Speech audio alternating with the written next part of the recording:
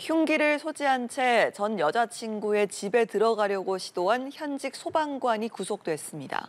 서울 서부지법은 스토킹 처벌법 위반 등의 혐의를 받는 소방관 A씨에 대해서 도주 우려가 있다며 어제 구속영장을 발부했습니다. A씨는 지난 15일 오후 11시쯤 서울 은평구의 한 다세대 주택에서 흉기를 든 채 외벽을 타고 전 여자친구 집에 들어가려 한 혐의를 받고 있습니다. A씨는 피해자가 문을 열어주지 않자 이 같은 범행을 한 것으로 알려졌습니다.